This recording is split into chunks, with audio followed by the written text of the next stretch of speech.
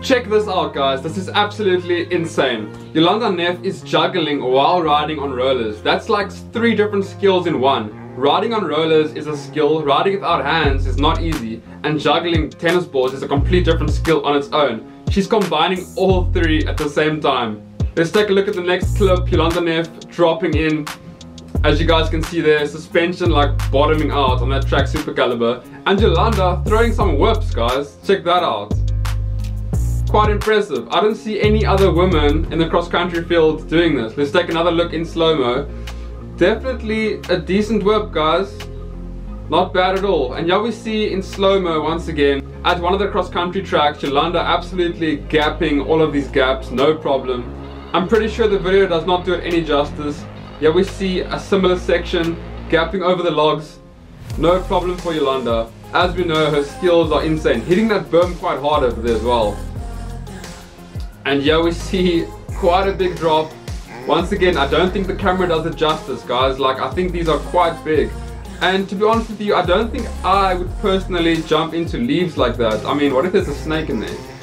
There we see Jolanda on her road bike. And yeah, we see her at a rock drop. Leaning pretty far back on the bike, obviously the dropper post is down. Riding that Trek Supercaliber, super hard. There we see a little endo just to get around the bend.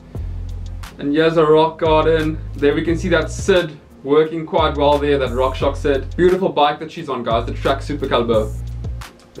little selfie mode. Oh, Jolanda is awesome guys. And now, let's take a look at this crash. Oh gosh, she hit the ground hard. Let's take another look in slow-mo. So it looks like she comes down here, her front wheel gets caught up in between rocks, it looks like it, and comes to an absolute dead stop, sending her over the bars, as you guys can see. Oh, onto her chest. Oh man, that is a hard crash, guys. The bike goes flying. She still tumbles down a few more rocks. She didn't break any bones, but definitely was sore the next day. So let's take a look at the next clip. Jolanda got a package over here. Just take a look at how lean she is. Look at her shoulder and arm development over here, guys. Like, this is pretty impressive. She's very, very lean. I don't think she has that much muscle mass because it's not the greatest to have too much muscle as an XC rider because you'll be too heavy.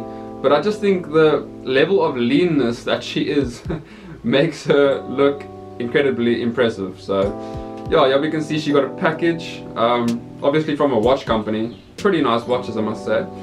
And yeah, we see her on her Olympic race bike, the, the bike that she used to become Olympic champion. Very, very nice paint job over here. I love it so much. It like fades between the colors. We can see she's riding her Swiss red jersey. Beautiful bike, guys.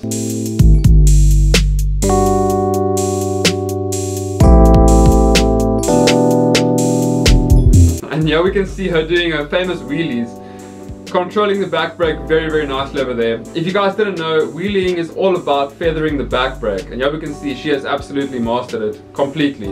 Um, I'm a mountain bike coach and a lot of the kids that I coach um, are trying to learn how to wheelie and they don't understand that you can't do a wheelie like we see Jolanda doing over here without your back brake. You need your back brake to control the wheelie. Anyways, if you guys want to learn how to wheelie with a super in-depth video, I do have a course down below if you guys would like to purchase it. It's super cheap. I think it's like $9. But it's like very, very in-depth video of how to really exactly. There's no video on YouTube that can like compare with the detail that I put out on that course. So check it out if you want to. But yeah, Jolanda Neff is insane. Very, very talented in terms of skills, as we know. Very, very fast XCO starter and very, very successful XCO rider, as we all know. Anyways guys, I'm a mountain bike coach if you guys didn't know. I deal with kids on a daily basis, coaching them, trying to make them the best riders that they can be. I have uploaded quite a few coaching vlogs to this channel, so if you guys would like to check that out, then definitely watch one of the videos displayed on my end screen. I'll see you guys in the next video. Cheers.